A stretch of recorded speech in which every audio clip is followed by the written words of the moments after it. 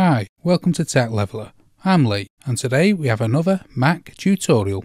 And in this one, I'm going to show you how to fix if you ever get a message not authorized to send Apple events to system events.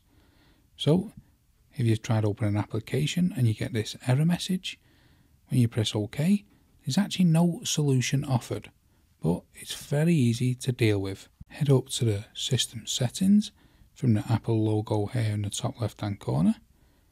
Then you want to scroll down to privacy and security.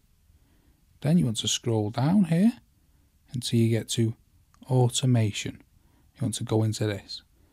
And the app, what you've tried opening, should be listed here and it should be toggled off to grey. And you want to toggle it on so it's green. This app will be authorized to be used on your Mac and you should no longer get that error message. So I hope that helps you out. If it does, smash the like, smash the subscribe, and most of all, thanks ever so much for watching.